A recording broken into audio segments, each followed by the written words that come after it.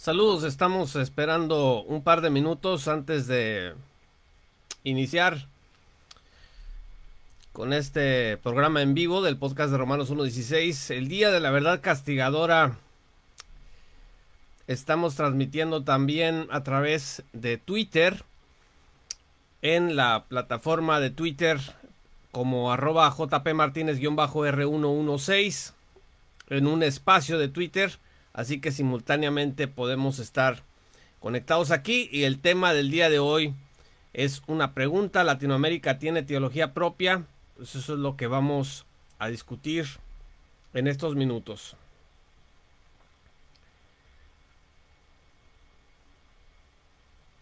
Pueden dejar sus saludos, sus comentarios. Con mucho gusto um, lo respondemos.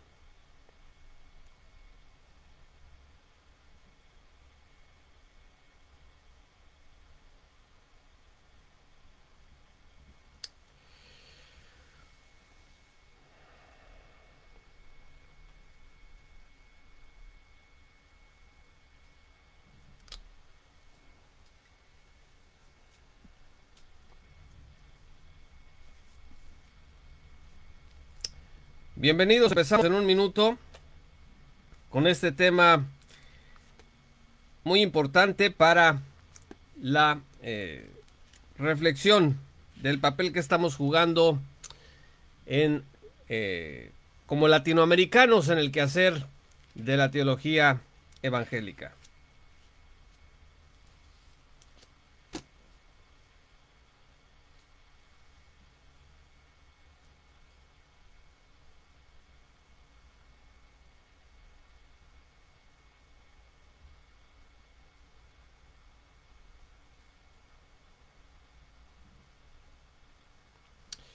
Estimado Ramón, bienvenido, gracias por conectarte. Estamos transmitiendo simultáneamente en Facebook. Así que me da mucho gusto eh, tenerte ahora mismo aquí en este live. Bienvenida. Eloís, bienvenida. El Negan, bienvenido. Muy bien, eh, la pregunta del día de hoy tiene que ver con la teología. Latinoamérica. cuando hablamos de Latinoamérica, generalmente hablamos en el terreno ideológico. Lo primero que se nos ocurre pensar es en el socialismo, eh, en, en tendencias comunistas y pues no, también en dictaduras dictaduras militares, en pobreza, marginación y un largo etcétera. Lamentablemente digo porque Latinoamérica es, es grande, es muchísimo más que los problemas que ha tenido la gente, los, los latinoamericanos tenemos características únicas en el mundo, pero cuando hablamos de la teología latinoamericana, eh, la reflexión latinoamericana, la reflexión teológica latinoamericana, probablemente lo que podamos empezar a encontrar rápido si la escarbamos es a la teología de la liberación. Gustavo Gutiérrez, eh, podríamos pensar también en los esfuerzos que hizo la Fraternidad Teológica Latinoamericana eh, para construir una teología eh, propia. Lamentablemente hay mucho teólogo latinoamericano, y digo lamentablemente porque estos teólogos tienden a, negar la inerrancia de la escritura, hay mucho revolucionario o gente que tiene ideas eh, revolucionarias eh, y bueno, habría que entender el contexto en el que se desarrollan estos teólogos para tratar de comprender por qué teologizan de esa manera. Y yo quiero compartirles, escribí un artículo que se llama Más allá del meme, lo compartí y eh, lo escribí pensando en la reflexión que me, a la que me llevó el artículo del doctor Alfaro. El doctor Alfaro es mi profesor actualmente en el Seminario Teológico de Dallas, en el curso de eh, Método Teológico y Bibliología. Entonces, en la clase tenemos que leer este artículo que se llama ¿A alguien le importa la teología? Está en jpmartinezblog.medium.com. Y eh, yo decía en este artículo que el doctor Alfaro, citando a René Padilla, a Pedro Sábaje y a Emilio Núñez, entre otros, pues nos lleva a la conclusión de que Latinoamérica no tiene teología propia y que hay un grave aire de antiintelectualismo permeando las iglesias de la región. Decía el doctor Alfaro, les voy a citar esta parte, tenemos que admitir que para contar a los evangélicos estudiosos o académicos latinoamericanos de seriedad mundial, nos alcanzan los dedos de nuestras dos manos. Fin de la cita. O sea, en otras palabras, pues no hay, eh, o hay muy pocos teólogos latinoamericanos serios, eruditos, que estén haciendo una buena tarea. Y lo primero que nos, que nos pasa cuando leemos algo así como tener una actitud defensiva, te quieres empezar a defender y decir, no, no, no, Latinoamérica sí tiene lo que dicen que no tiene. Y bueno, ustedes, eh, si están en Latinoamérica, pues pueden comprobar el nivel de teología que hay en las iglesias locales. ¿sí? Puedes pensar en tu iglesia local o en iglesias locales en la región y cómo es el estado de, la teología. De hecho, Legal Ministries de el Dr. R.C. Sproul tiene un estudio que hacen creo que año con año del estado de teología en los Estados Unidos. Yo no sé cómo resultaría un estado, un, perdón, un estudio de teología para ver el estado que guarda la teología en México, por ejemplo, en Argentina, en, Nicaragua, en El Salvador, en República Dominicana. Entonces, em, quiero compartir con ustedes dos cosas creo que, que creo que estamos haciendo eh, dos cosas incorrectas porque tenemos un entendimiento de lo que es la sana doctrina y de lo que es el quehacer teológico que me parece que es un entendimiento errado. es este entendimiento más que un razonamiento de la teología a partir del material que nos da la Sagrada Escritura, es militancia. Es militancia ideológico-política. Eh, esa es lamentada sana doctrina que varios latinoamericanos están gestando desde, los, desde sus tribunas. Eh, sus tribunas en redes sociales o en sus blogs o, en los podcasts o en donde participen. Y quiero compartirles una nota que hay aquí de eh, de Sabaje, Pedro Sabaje. Fíjense lo que dice Sabaje en, la cita que hace. En la cita que hace um, el doctor Alfaro. Dice. Por la escasa formación teológica del pastor, y bueno, no nos queremos ir contra los pastores aquí, podemos pensar en los, en los maestros también, en uno mismo como cristiano, que no, a lo mejor no eres pastor ni eres maestro, pero haces también o estás construyendo tu teología mientras estudias, dice que por la escasa formación teológica en los sermones o en la enseñanza, hay varias limitaciones que se tienen. Número uno, el pastor no es consciente de su, de su acondicionamiento ideológico y las lentes culturales y existenciales por las cuales lee las escrituras. O sea, cuando no tienes formación teológica, o no estás en el proceso de formarte seriamente de, eh, en teología, y no me refiero a estar en un instituto necesariamente, sino tomarte en serio el quehacer teológico con las herramientas que hay. Afortunadamente ahí hay muchas, hoy hay muchas y gratuitas, pero cuando no te lo tomas en serio, no te das cuenta que en realidad cuando expresas un punto de vista teológico, estás expresando básicamente tu condicionamiento. Porque al no tener las herramientas para estudiar con más profundidad la teología, pues uno termina repitiendo lo que otros dicen. Y eso lo vamos a ver en un momento.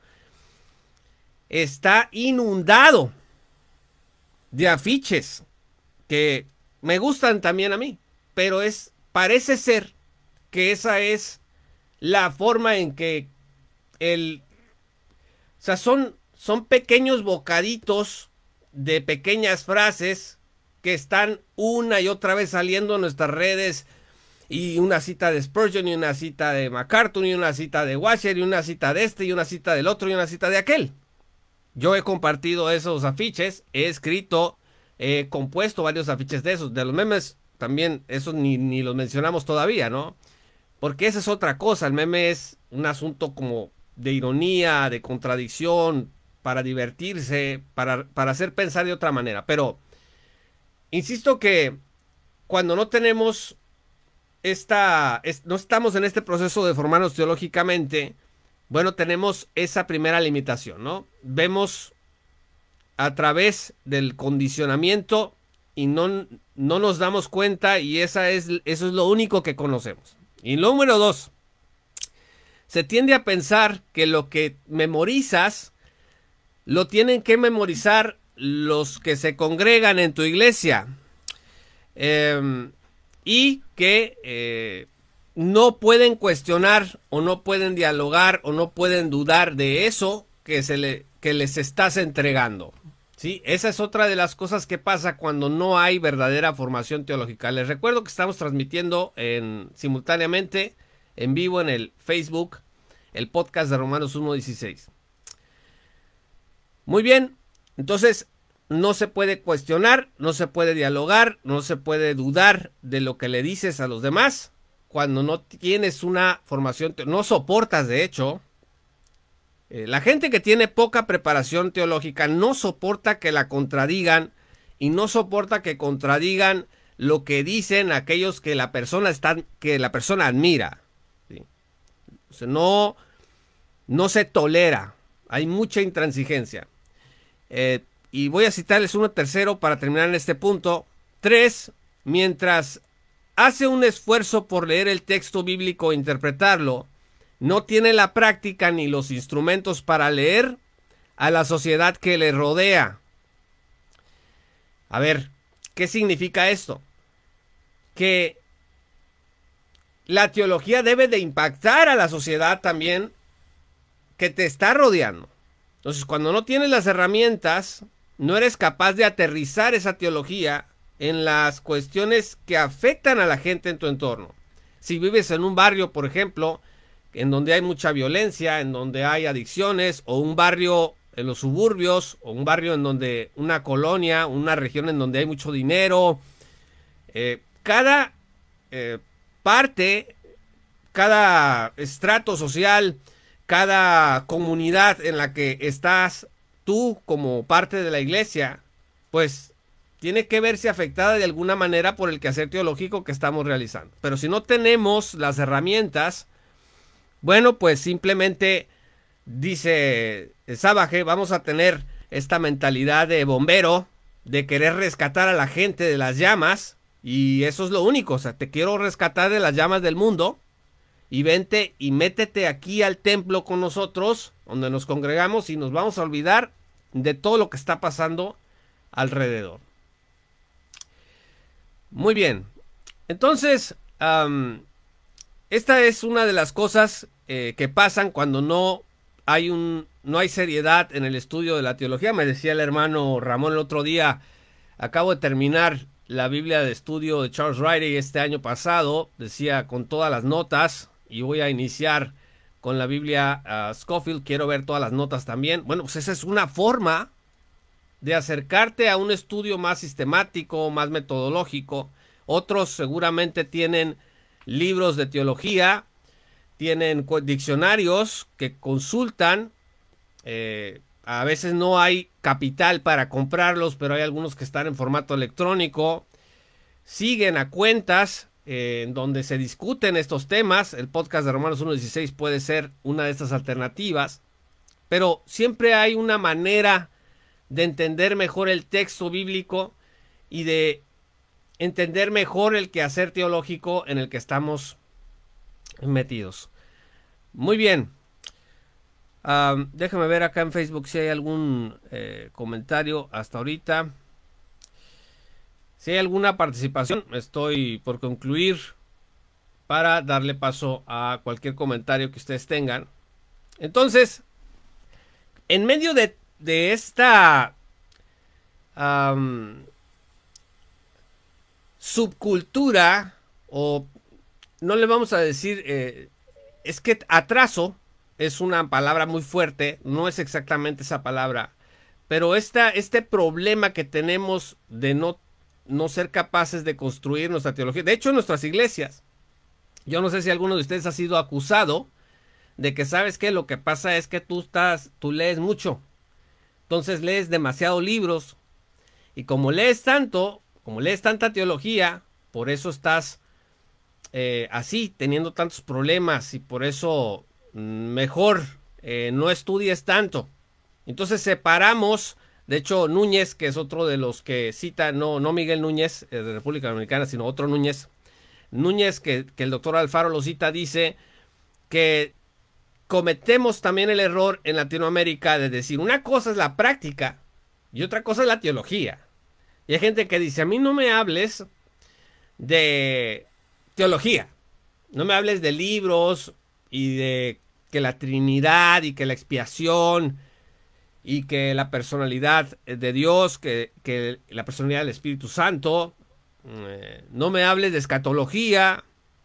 A mí, dime qué es lo que hay que hacer para ayudar a una persona. Entonces, esta falsa, este rompimiento, este divorcio, eh, no ha traído, eh, ha traído más problemas que beneficios en Latinoamérica, ¿sí? Entonces, si has sido acusado o sido señalado de que la piensas mucho, porque lees mucha teología, porque quieres que la iglesia crezca doctrinalmente y te como que te quieren jalar y te dice calmado, ¿sí? Eh, te, te puedes convertir en una persona y es que es verdad, también puede pasar eso. Hay mucha gente que se mete a los libros y se desconecta de la realidad. Pero hay gente que no se quiere meter para nada en los libros y entonces la práctica se convierte en, dice el, doctor Alfaro, en activistas y reflexivos. Entonces ese es un problema también. Entonces, ¿qué hacemos en el, en el ámbito de las redes? A ver, ¿quiénes son? Piense, piensen ustedes en las cuentas que ustedes consideran que están defendiendo la sana doctrina, que están aportando al crecimiento teológico de la iglesia a través de los medios de comunicación, etcétera. Básicamente, lo que yo me he encontrado en el mundo hispanohablante es retórica populista, incendiaria, de influencias cristianos eh, que siempre están reaccionando en lugar de construir y de apoyar la sana doctrina en los términos que la escritura califica la sana doctrina. La sana doctrina no nada más es, es un principio proposicional. La sana doctrina también es práctica. Entonces, estas personas consideran la apologética, es la vulgarización de la apologética, consideran la apologética pues equiparable a estar ciberacosando, a hacer doxing, es decir, irse a meter a, ver dónde, dónde vive esa persona, cómo la podemos acosar, cómo la podemos eh, perseguir, cómo le podemos tronar la cuenta porque la consideramos hereje o un falso maestro. Eh, vamos a hacer, eh, decían hace unos años, vamos a hacer un, un boicot. bueno, hay ministerios de este tipo en las redes que dicen sana doctrina para Latinoamérica. Y es difícil entender de verdad cómo pueden considerar sana doctrina todo este desparpajo amarillista, eh, eh, pseudo noticioso, pues eso no es hacer teología. Y luego, eh, una persona, por ejemplo, yo la seguía, tenía un canal en YouTube que estaba creciendo y me parecía que iba a buen camino, hacía reflexiones sobre el catecismo de Westminster, eh, reflexiones eh, sobre la, la confesión helvética, etcétera. Se metía con documentos confesionales. Dije, bueno, ese, ese estilo va por buen camino. Bueno, pues resulta que hubo una elección en Chile y la tribuna personal que tenía se convirtió pues en, en lo, que se, lo que se está convirtiendo muchos supuestos gestores de la teología latinoamericana que quieren se supone que sacar a Latinoamérica adelante porque está en el oscurantismo teológico, etcétera, etcétera.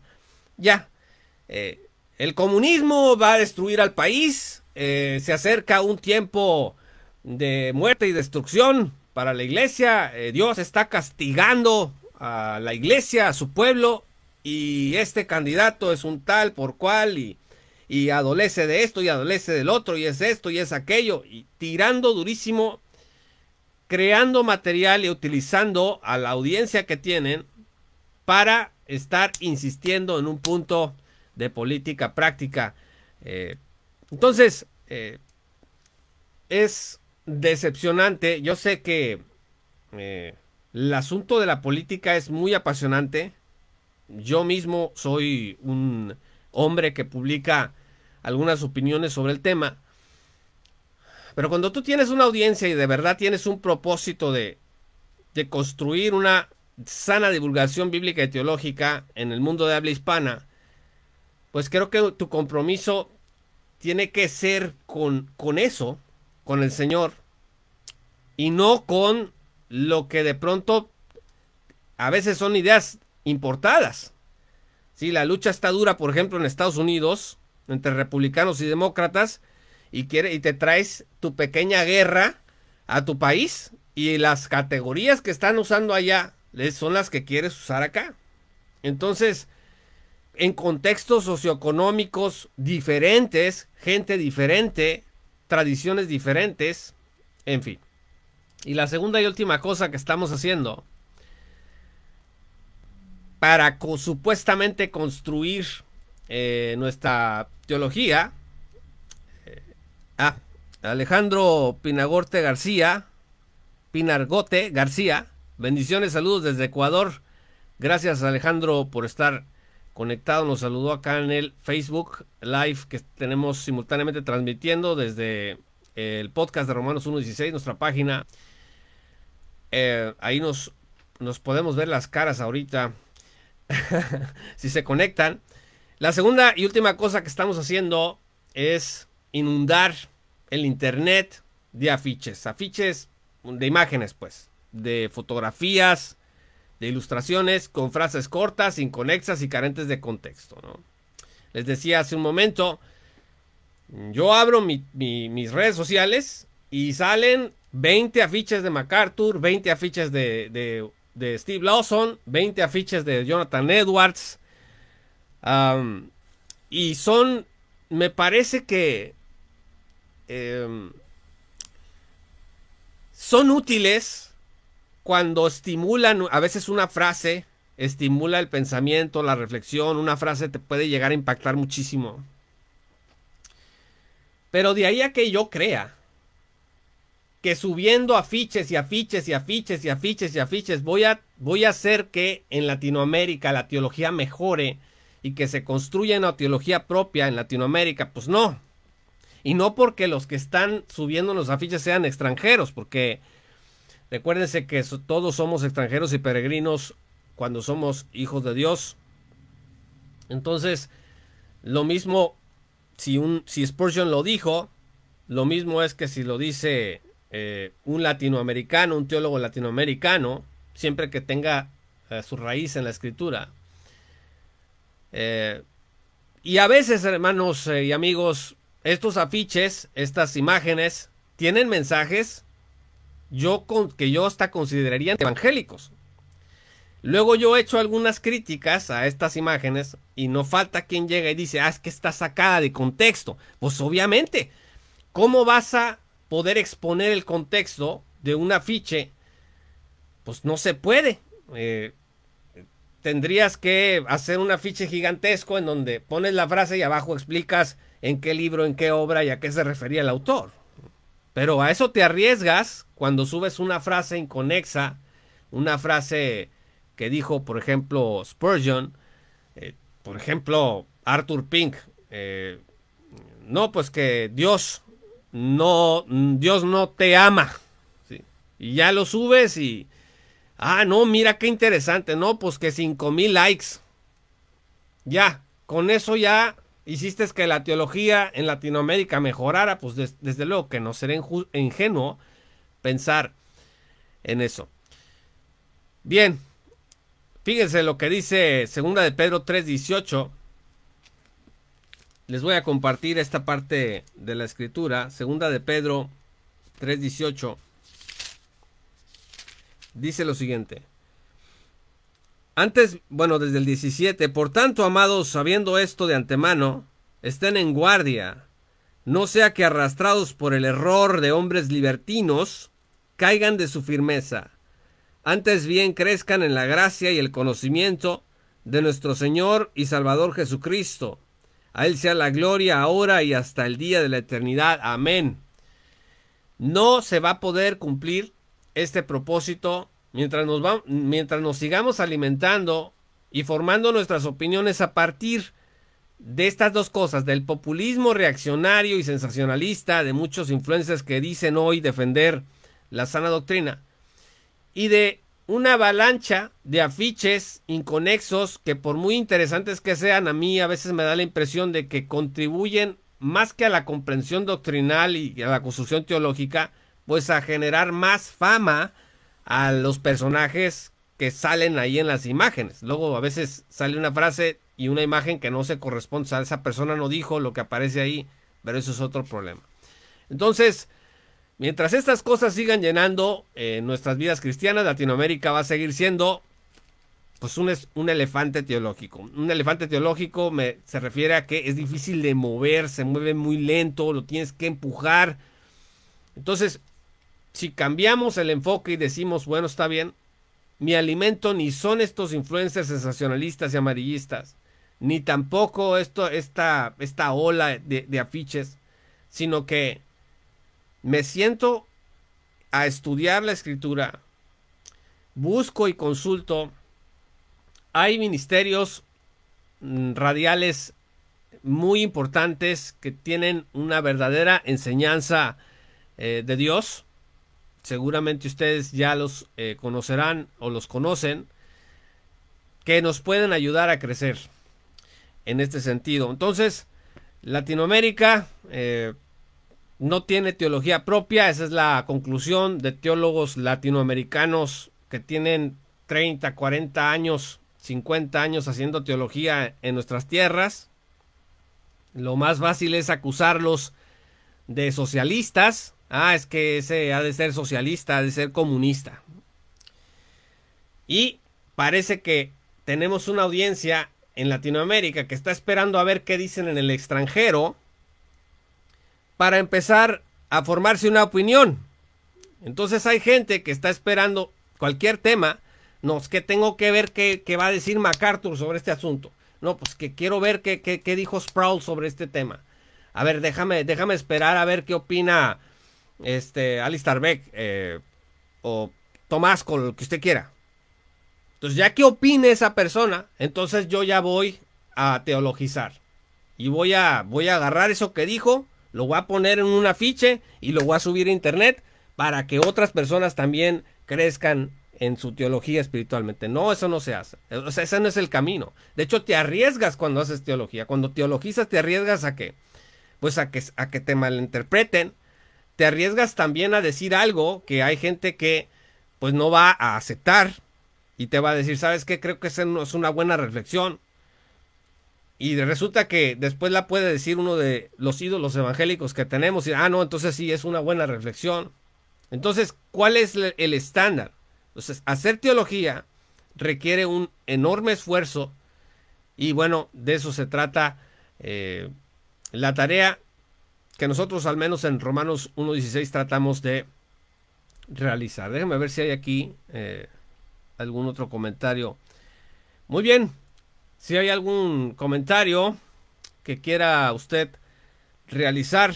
Este es el primer programa. Vamos a estar conectados, primero Dios, todos los miércoles entre 6 y 8 de la, de la noche, hora del Pacífico.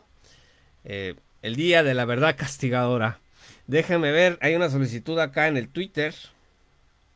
Eh, Eloís, encienda su micrófono y le escuchamos.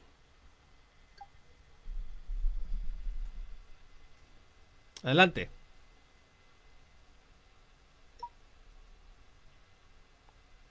Solamente encienda su micrófono y le escuchamos.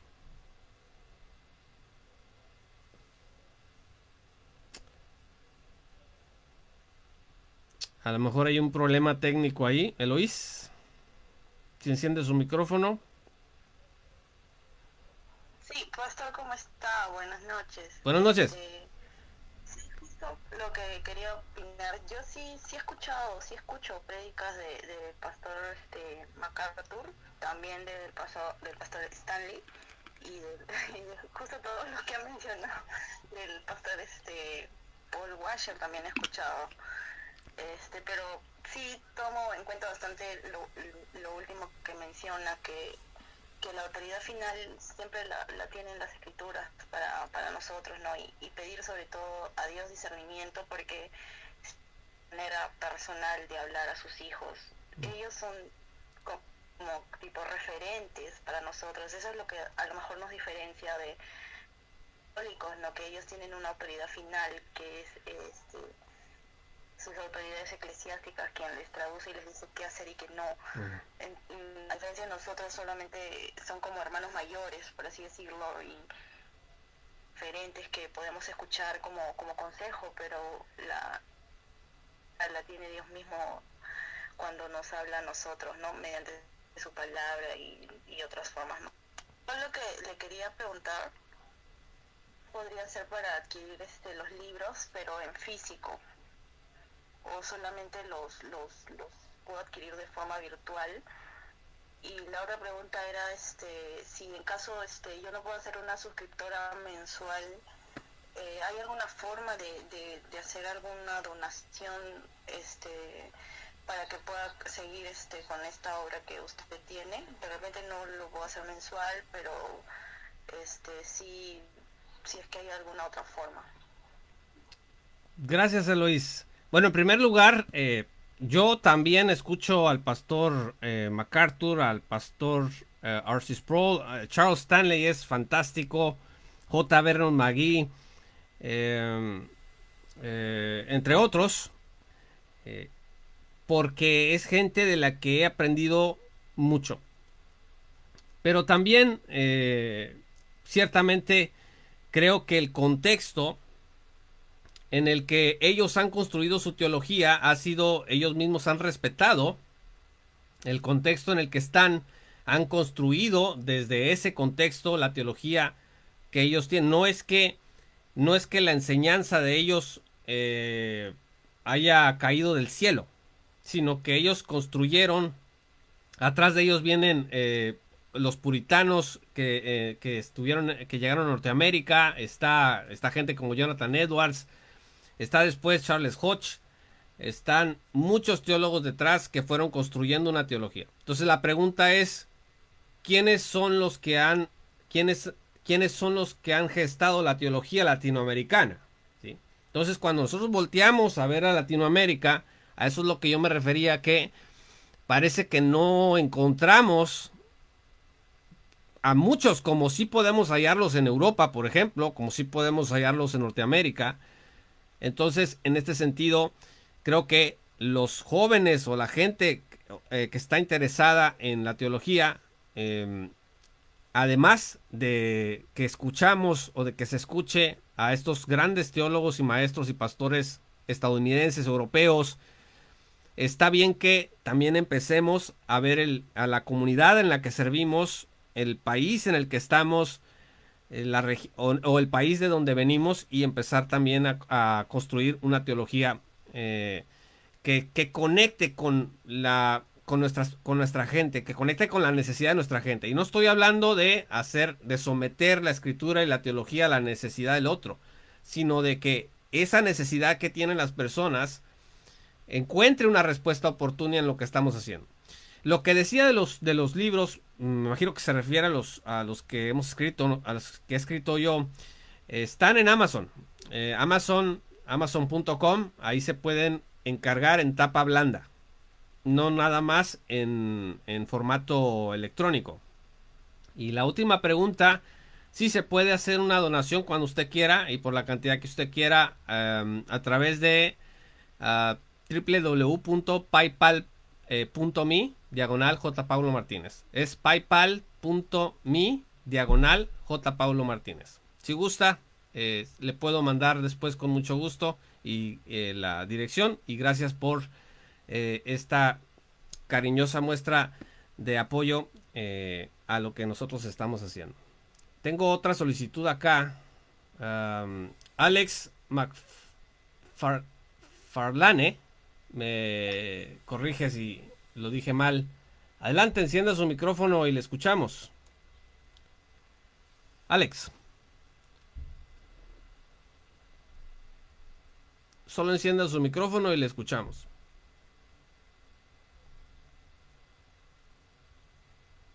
Hola, ¿me escuchan? Adelante.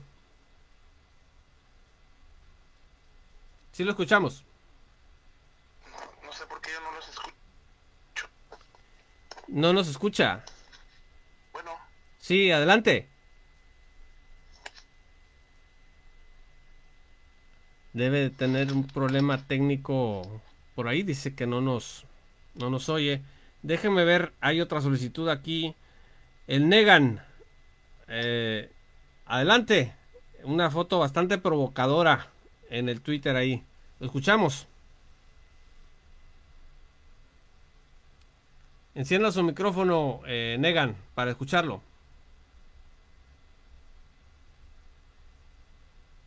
Hola, hola, buenas noches. Buenas noches.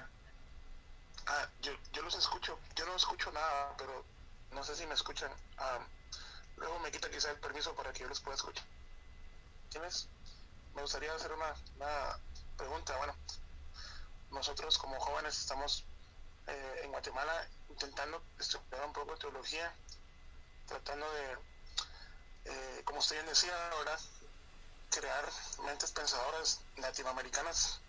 Yo estudio un poquito sobre la palabra y estoy tratando con mi esposa de conocer, de, indagar. Obviamente tomo, tomo como referencias a los hermanos que usted menciona, ¿no? A Sproul especialmente, a MacArthur y otros hermanos contemporáneos, que aunque entiendo lo que usted dice por su cultura, la teología puede, puede estar enfocada a un, ambiente cultural distinto. Mm. Pues los fundamentos ah, que ellos observan, que ellos analizan, que, que tienen como, como, como base histórica a, la reforma y todo eso. Pero me gustaría saber un poco a ah, cómo, cómo podemos nosotros en Latinoamérica, en nuestros países latinos, ah, algunos de ellos incluso tercermundistas, ¿no? Con, con gente educativamente muy, muy, muy mal. Mm. Estamos, nuestros niveles de educación son bajos, nuestros niveles de comprensión son malos. Uh, creo, hemos observado que nuestros gobiernos han implementado sistemas educativos que promueven exactamente eso, ¿no? Que la gente viva incluso mal alimentada, que la calidad de educación sea fatal.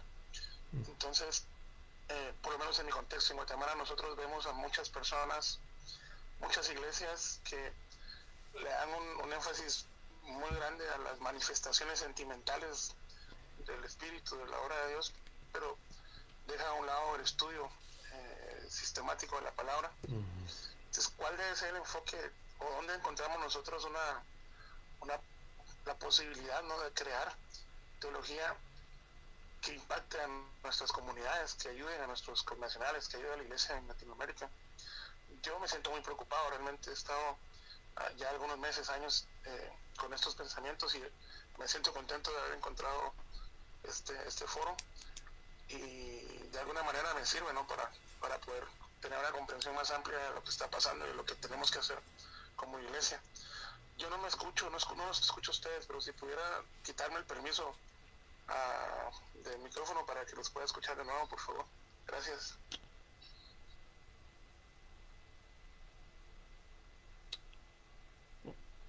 Ok.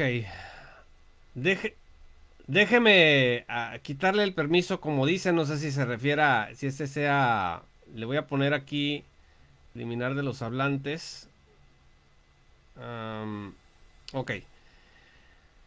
Bueno, Alex, Alex está haciendo una reflexión brutalmente realista. Dice, a ver, aquí en mi comunidad, a ver, yo escucho, voy a, voy a hablar, no es que usted lo haya dicho, sino voy a ponerme en sus zapatos. Yo escucho una predicación tremenda sobre la inerrancia bíblica. Eh, la diferencia entre expiación y propiciación. ¿Sí? Y el doctor Sproul, por ejemplo, explica eh, el término de kenosis, las doctrinas kenóticas, etc. Entonces, yo digo, wow, qué bendición. Y voy a mi comunidad y la gente no, no llegó a segundo tercero de primaria. Eh, como dice, hay gente que no tiene para eh, lo necesario para comer. Hay alcoholismo, hay drogadicción, hay una gran violencia. Por ejemplo, hay gente en, contextos indígenas en donde se batalla mucho por las, porque algunas tradiciones dentro de algunos pueblos indígenas, pues son notoriamente, inclusive pueden llegar a ser hasta ilegales, como por ejemplo la venta de las hijas, el intercambio de hijas. Hay algunos grupos indígenas que pueden practicar estas cosas. Eh, entonces, eh, todo esto me dice a mí, a ver, ¿cómo voy a empezar a construir una teología con todas estas necesidades? Bueno, pues es que, miren, les voy a decir, cuando, cuando los, los ah, frailes franciscanos llegaron a, tierras eh, americanas, les daban de comer, por ejemplo, a los, o sea, reunían a los indígenas y luego los invitaban a comer y a partir de ahí les empezaban, por ejemplo, a, a dar la doctrina. Y poco a poco, estos frailes mendicantes, pues lograron que estos indígenas empezaran a crecer y a crecer en número de los que seguían la doctrina.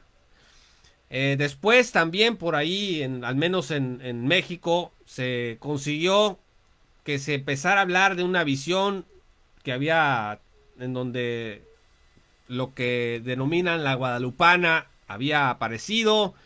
Entonces se empieza a hacer una conexión eh, eh, con la cultura con la gente, apelando a lo que la cultura entendía en ese momento, tratar de comprender el contexto y hablar de Dios a partir de ese contexto.